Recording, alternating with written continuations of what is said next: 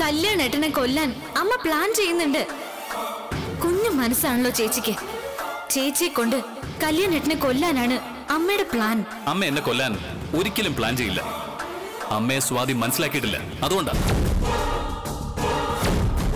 നീ അവനെ ഇന്ന് കൊന്നില്ലെങ്കിൽ ഇന്ന് രാത്രിക്കകം അവൻ എന്നെ കൊല്ലും.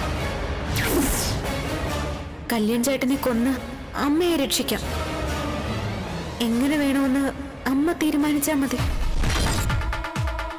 ഫംഗ്ഷൻ നടക്കുമ്പോ സീതേച്ചി തോക്കുമായി വരുന്നു. കല്യാണേട്ടനെ കൊല്ലാൻ ശ്രമിക്കുന്നു. അപ്പൊ വിശ്വസിക്കുമല്ലോ ഞാൻ പറഞ്ഞതൊക്കെ.